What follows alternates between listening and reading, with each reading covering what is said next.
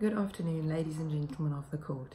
I stand before you today to represent my client, Chihiro Construction, to request that you favour our position to remove the presiding arbitrator, Dr. Kozalski, from the Chihiro Construction vs. Three Thugs Group Arbitral Tribunal on the basis that Section 1 of the Arbitration Act 1996 has been compromised.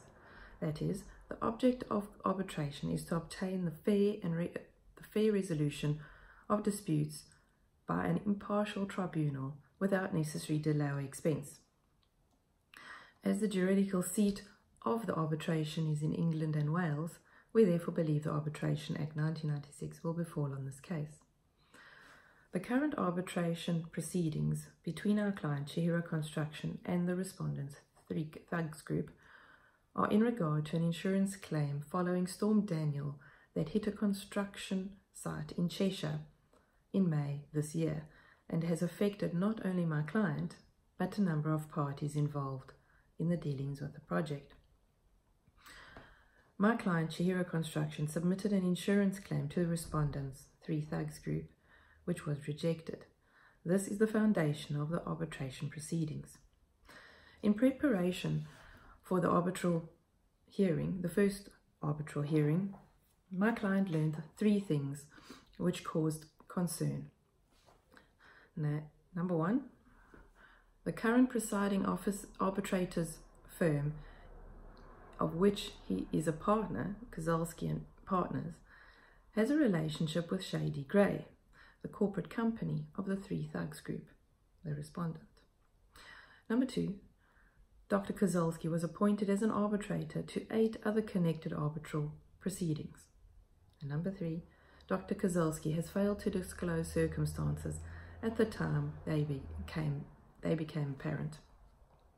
In dealing with issue one, that is, the relationship with the parent company, my client issued an inquiry to the presiding arbitrator requesting resignation, to which resignation was declined as Dr. Kozalski explained that he had no personal dealings or knowledge of Shady Grey or of the Three Thugs group prior to the beginning of the current series of arbitrations. Dr. Kozalski had carried out his, his law firm's conflict check systems before accepting the appointments, which did not alert him to the relationship between the respondent and the fact that the parent company was in actual fact one of the was was one of his own firm's most lucrative clients. My client finds this information difficult to accept as prior to acceptance of any appointment, the expectation of the arbitrator is to take the trouble to inform himself on all matters that are relevant to the proceedings. This was listed or stated in the case law Helow v. Secretary of State for Home Department 2008. The fact that Dr. Kozalski carried out his own firm's check, conflict check, it in itself can be construed as a conflict and would have carried out uh, carried more weight if he had completed an independent conflict check and undertaken further review of the parties. This brings me to the impartiality test as summarized by Lord Hope in the Porter and Magill case. That is, whether the fair-minded and informed observer, having considered the facts, would conclude that there was a real possibility that the tribunal was biased. Dr. Kozalski's statement of having no knowledge of Shady Grey is difficult to accept, especially based on the fact that he was a partner and that Shady Grey contributed substantial remuneration for his firm to his firm. Any reasonable man, especially one that is a partner and has his name on the company's name, would have a relatively good understanding of where his company's turnover originated from. Even if Dr. Kozalski had only just learnt Shady Grey's direct involvement in his firm, once the link was established, it is difficult to remain objective and should have been disclosed to the parties. Case law demonstrates the matter in Sierra Fishing Company v. Farran 2015 and the court, where the court summarized the following point. The fair-minded observer would conclude that the connections give rise to a real possible possibility that the arbitrator would be predisposed in favour of the respondent in order to maintain the business relationship with himself, his firm, and his father to the financial benefit, of all three. In addition to, to that case law, the court in the case of Sphere Drake Insurance and American Reliable Insurance in 2004 concluded whilst the, whilst the act whilst the lack of confidence that any party, party to the arbitration would have in such an arbitrator is not the determining factor. It is undoubtedly understandable and a fair-minded observer looking in on the matter objectively would conclude that however much Mr. Lucas tried to put out of his mind his prior conclusions and knowledge, he would become, so he would come to the matter with some preformed view which would present danger of unfairly regarding with, with favour the case of one or the other of the parties concerned. My client therefore believes that the impartiality test has failed on this occasion. In dealing with issue two, that is, Dr. Kozalski was appointed as an arbitrator to eight other connected tribunal proceedings, however failed to disclose this to the parties. This draws attention to the objective test,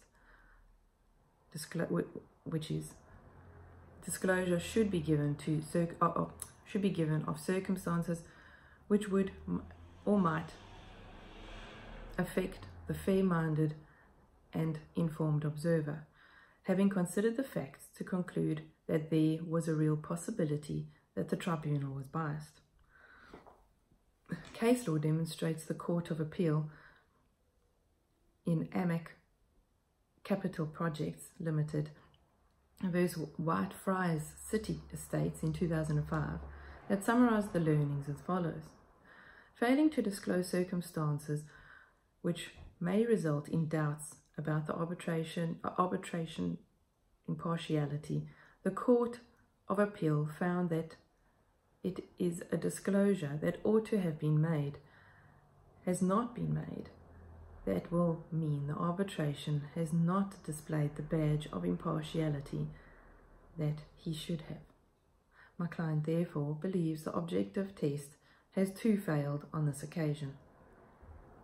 In dealing with issue 3, that is, Dr. Kozalski has failed to disclose circumstances at the time they became apparent. It is good practice for the arbitrator to disclose any links when they become aware of, of them to the parties involved in the arbitration. However, Dr. Kozalski decided to remain silent on this point in more than one circumstance. This could be due to the fact that he put himself in a position where he has a conflict between his duty to, the, to his client and his own self-income. Again, I refer you to the case law demonstrating the Court of Appeal in the AMEC Capital Projects Limited and both Whitefriars City Estates Limited, which I previously mentioned in issue 2. Based on the three issues presented, my client has therefore lost all confidence in the presiding arbitrator to deal properly with this reference and wishes to request the court under section 24.1 of the Arbitration Act 1996 to remove the arbitrator on the grounds that circumstances exist that give rise to justifiable doubts as to his impartiality. My client also intends seeking a stay to the proceedings in line with section 9.1 under such time until such time as a new independent arbitrator is established. I put this for, forward to the court and trust the fair and reasonable decision will be made.